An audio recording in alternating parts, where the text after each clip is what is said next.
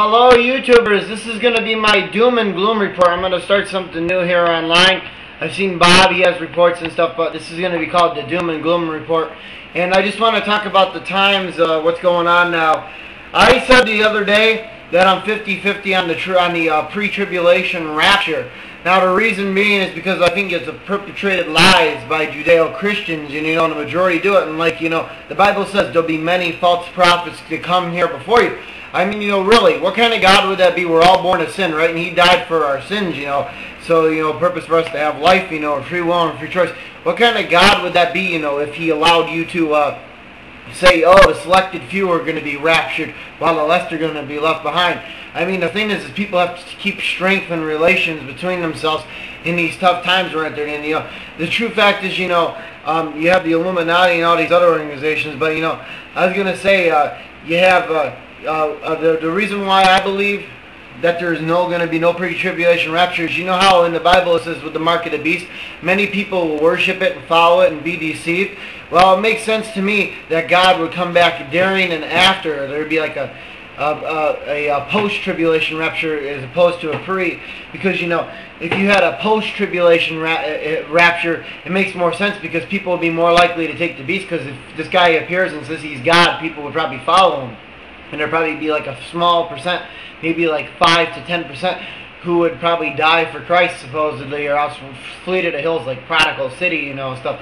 And uh, the thing of it is, is, you know, that's the, what I really believe because I don't think God is like that, you know, because that would be preferential treatment. And you know how preferential treatment is here on earth. It's very unfair to uh, to certain groups of people, you know, that one group gets treated a certain way and then another. And the thing is, is God's like a judge, you know, when you go to court, you know. Um, when you have to come before him one day, one day before the Lord, which everybody's going to have to do eventually. When you come before him, you're going to be judged on all your sins, and basically, you know, you're either going to go to heaven or hell. You know, is the thing, and it's pretty much determined by your destiny, I believe. You know, it's kind of like karma. But uh, what I just wanted to get into is I wanted to talk about a few things. So I'm going to start reading articles in my next few, but this is my first doom and gloom report, kind of an introductory video to, to certain topics I'm talking about. But I wanted to talk to you about this weekend and how the Illuminati uh, works and stuff. You know, the 666 was the other day, of course, and they were talking about cigarettes and they were talking about Homeland Security. Again, I saw a report where they're talking about airports now in the future. They're going to have some kind of scanner when you go in there. You have to put your body through, and it pretty much shows everything in the future in order to board a plane. Plus, they charge $15 too. And, you know, I was watching the price of oil too that day on Friday, which was the 6th. And, of course, you know, 666 was a few years ago. And it was like a day before Kennedy was assassinated. Of course, Ronald Reagan died on that day too. And, you know, the Omen was released. All kinds of stuff, you know, D-Day also. But I just was going to say they purposely hi uh, hijacked, you know, jacked the gas, the gas prices up pretty much to like, you know, over four dollars significantly on that date because that's how the satanic group works, the Illuminati, which is run by Jewish elite and Jewish Zionists. And uh, I was just gonna say that's why they raised the price up to like four dollars a gallon, four fifteen a gallon. But you know, I also wanted to talk about uh, the cigarettes too. They said that they were arresting people for buying them on the black market. Well, I don't blame some people because you know it's the same. You know, uh, unconstitutional taxes on cigarettes, seven dollars, eight dollars. Yeah, it's okay for the government to do it, but if you do it, then they make you out like you're some kind of criminal. And you know, I just wanted to say that uh, um, uh, eventually, though, with the market of beast too, it might be a good idea now. You know, for some people, uh, you know, even if you wanted to sell it for people who, who might be left behind, if there is possibly a pre-tribulation rapture, which I don't think so, but it, could be a good idea for people to start having black market chips. I mean, like, you know, hooking them to a database. Because, I mean, this is really, really bad stuff uh, that they're trying to do. And either way, you know, it, they can do whatever they want to me or anybody else who's a Christian. I mean, because it doesn't matter. Because, you know, you heard about the concentration camps and all, you know, down in New Orleans. I'm not afraid to die for God because we're the true holders of the faith. And, I mean, you know, I don't care, you know, if I end up escaping, you know, into the hills, fleeing to the hills, that's also okay, too. But uh, I was also uh, wanted to talk to you, too, about this weekend. Uh, I saw a report on Saturday people now are starting to protest. Just like I said in the end times, brother would be rising up against brother, nation against nation, tribe against tribe. There would be various earthquakes, famines, and droughts throughout the nation, and eventually every king, tribe, tongue, and nation will bow down to Jesus. But first of all, there has to be violence to pass this.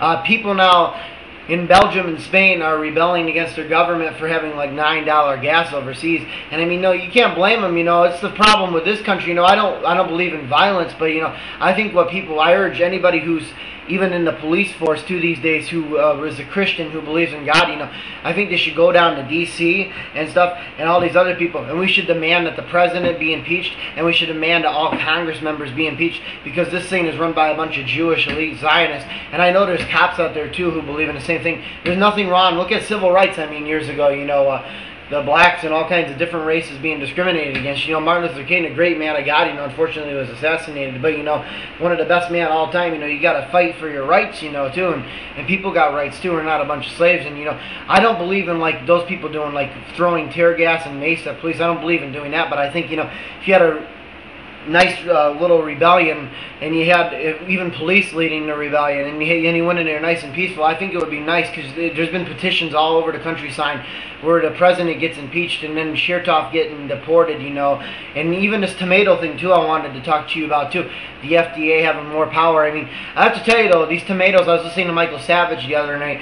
These tomatoes were sold in Mexico, and uh, what I was gonna say is. Uh, a lot of them is from Mexico, the production of it, and of course their water isn't good from third world countries. That's what you get when you support NAFTA, though. That's the problem with our Congress outsourcing American jobs. You know, you get food contamination back here at home. You know, and uh, it's really scary. You know, because if there starts coming a shortage of food and stuff, then people are going to be dying and running the hills. So I would just urge for now everybody to probably have a good uh, supply of water, which we have here, like Poland Springs, a lot of canned and perishable food. I would urge people also to buy like a cooking grill just good to have like for camping. Have a camping bag and even a tent or like an RV. That could be possibly a good thing to have here heading into these tough, tough times. And also a bike or whatever. But I was also going to say, uh, I was watching the news and uh, there's a lot of bad stuff. Uh, taxes I heard on gas too. This was Sunday. I watched it. 75% of tax in England. Of course, that's where the Illuminati's core base is. I've heard this before a lot on the uh, on SatansRapture.com and a lot of religious sites. Their head bases is in England, of course, and uh, I was going to say these people 75% gas tax. If it wasn't for that, gas would be 230, and they're doing the same thing here in America now. These environmentalists who use education the environment and energy to push through their agenda, these green elitists. And from now on, I've stopped pretty much buying all this green stuff, like the sun chips over at Subway and stuff, anything that has a green label, because when you give them their money, all they do is the Illuminati and these college students and stuff, these uh, little good, goody two-shoes, all they do is they use your money to push through their plan, and ben, it's backed by Benjamin Creme and Share International and the One World Order, what they're trying to push. But I was going to say, you know, this, this stuff is really, really bad, and uh, I wouldn't support it in a heartbeat. What it does is it taxes people to death just like old Rome and Babylon, you know, is prophesied in the Bible. But um, I also wanted to talk to, because uh, that's why gas here is so expensive now for us. I also wanted to talk about something I saw today online. Uh, of course, you know, New York State. Uh, we were the first state or whatever now that has a so-called internet sales tax when you buy stuff so the state can make more money and still. But I also heard about the tolls too. I told you about on 80 from Jersey to Pennsylvania supposedly, and I put a 35 cent toll on the interstate so the state can get more money and enslave you ultimately. That's why they have E-ZPass and stuff. You know. I want you to take the mark eventually. And uh, another thing that I wanted to bring up though too quickly, as I saw a report today online now child pornography is illegal and anybody who looks at it should be arrested. But you know what they're trying to do now? They're trying to censor everything on the internet now. And you watch, next thing they're going to attack us, people who are Christians, like the fundamental people, they're going to attack us and try to censor the truth because that's how this organization works, this elite organization. So um, I thought I'd get this video out to you. I hope it's informative to you. And remember, at all costs, because it's coming very soon, and they delayed it to May 2009 do not take the mark of the beast, because if you take the mark of the beast, you're damned and you're going to go to hell, and you're going to drink with the wrath and in, in the presence of the holy angels and the Lamb. Because if you take this mark of the beast, you're going to be with these people like George Bush, Michael Chertoff, all these legislators, Time Warner, AOL. You're going to be on all these people who are judgmental, who are causing the problems, all the CEOs in the oil industry and the Illuminati, all these satanic people.